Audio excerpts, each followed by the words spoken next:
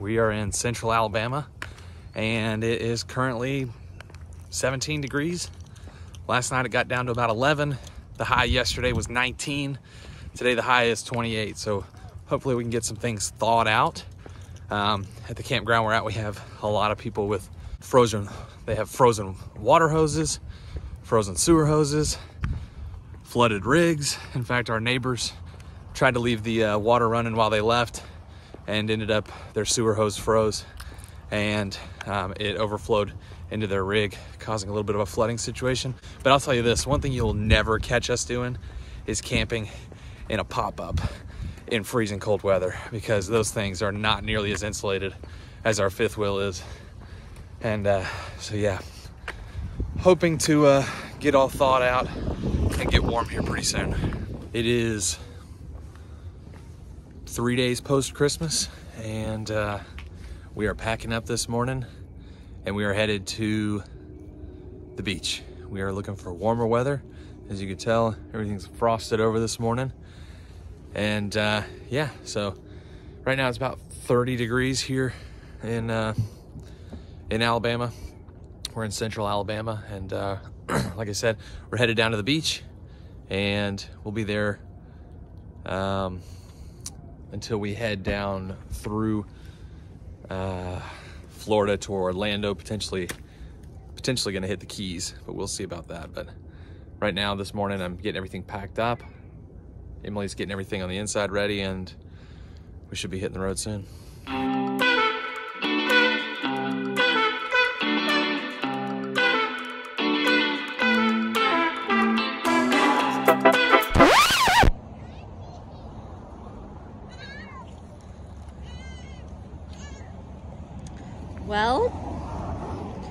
Probably can't hear me because all this road noise, but you can tell right there, we've got blowout.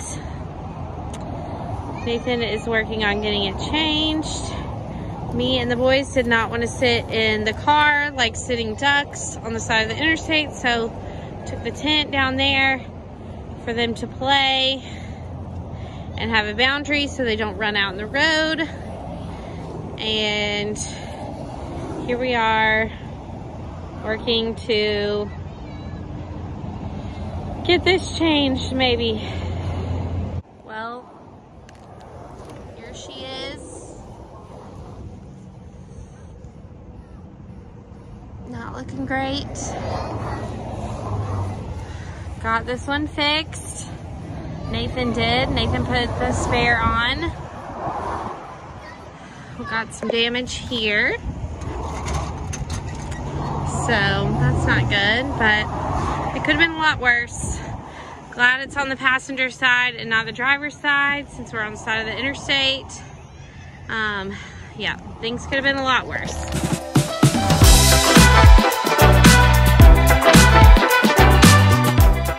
We made it to Foley. We are out here and uh, it is sunny and 75. It is actually quite warm. Uh, the boys are riding scooters this morning and we are just going on a walk. After nearly two years of, uh, of traveling, come on Arch. After nearly two years of traveling, we uh, finally had it happen for the second time.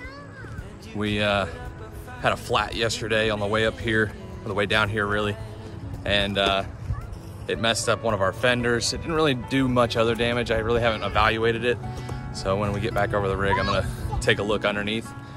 But um, yeah, the whole the whole tread came off. Um, so part of uh, the project while we're here in Foley is probably gonna be to go ahead and um, order some order new tires for the rig probably get a whole new set because the tires that are on there we've only replaced one are probably about four years old at this point and um, she's due for some new some new uh, shoes You're a beautiful sight in the summer night. And you can't put up a fight in the misty light.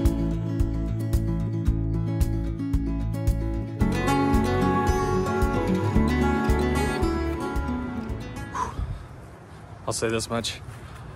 I understand why people, um, why snowbirds come down here in the winter because it is 70 degrees and it is only nine o'clock and I'm already sweating.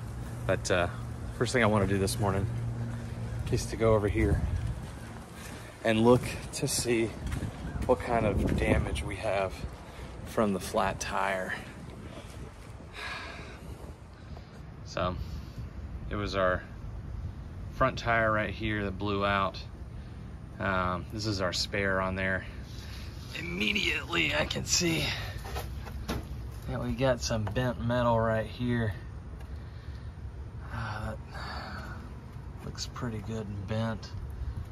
Um, but honestly, I'm not sure that that's really that big a deal.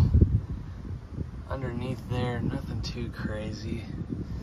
Um, it did break this right here a little bit and doesn't look like it caught anything up under here. But here, looks like when that tire came off, it ripped that piece. I'm wondering if there's anything further up under there. Oh, man. Yeah, it looks like this right here uh, came disconnected. That shouldn't be a hard fix. That actually should be pretty easy to rewire that together. Um, everything else is looking okay. A little bit of rub up there. But yeah. All right, just got off just got off the phone with Mavis. They are getting us four new Goodyear endurance tires.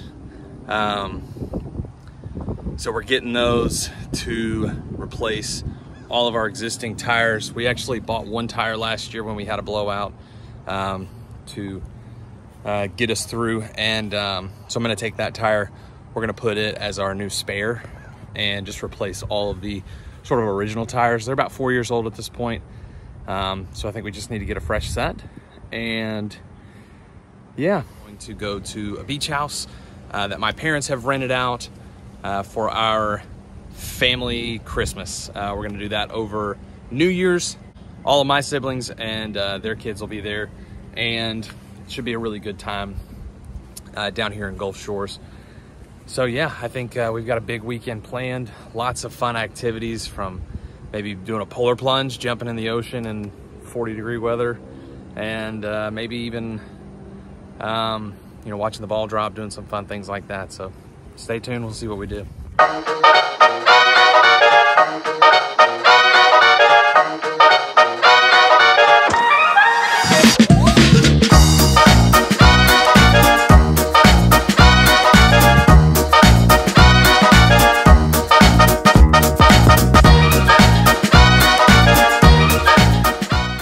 That's what you're gonna ride?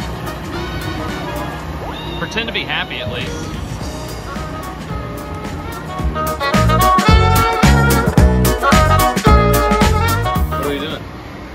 The Ferris wheel. Here we go. Here we go. Just keep moving, just keep moving.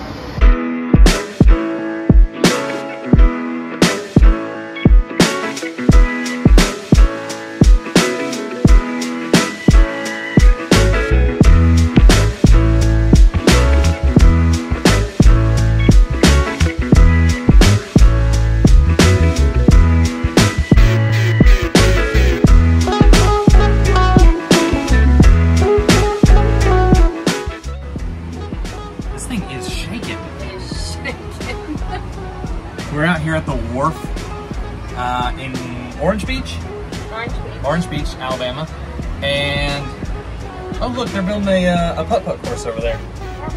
Sorry, distracted. We're in the Ferris wheel. We're in the Ferris wheel, yep. So look around. Awful shaky, but uh, we're doing the confetti drop on New Year's Eve out here. It's a kids um, countdown to New Year's, basically. But they do it at 12 p.m. instead of 12 a.m. Yeah. So we're gonna count in the new year. They're gonna drop confetti. I don't so know. kids can be part of the fun. Yeah. Not having to stay up. We're not having to keep them up and have them cranky. So here we are. And you can see they've got festivities all right down through here. Super excited for that. So, Goodness, the bull riding line is so long. are you gonna ride the bull? Yeah, we're gonna get her to ride the bull.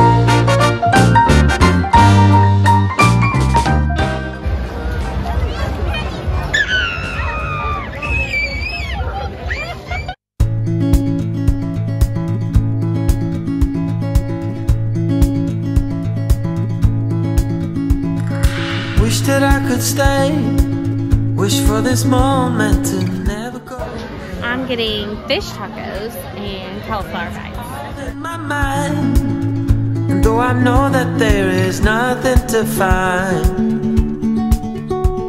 you're a beautiful sight in the summer night.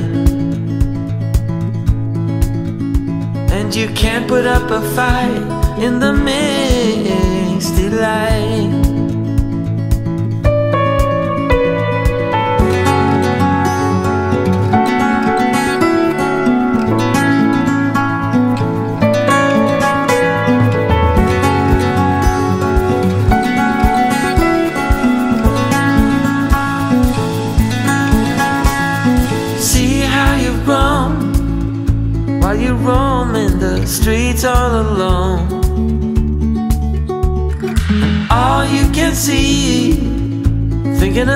What your life came to be.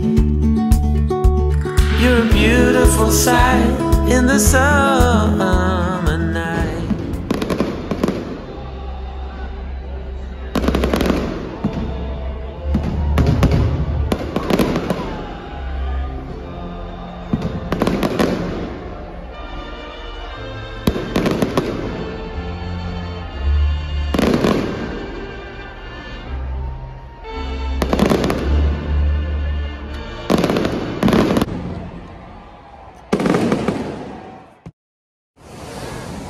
Polar bear plunge.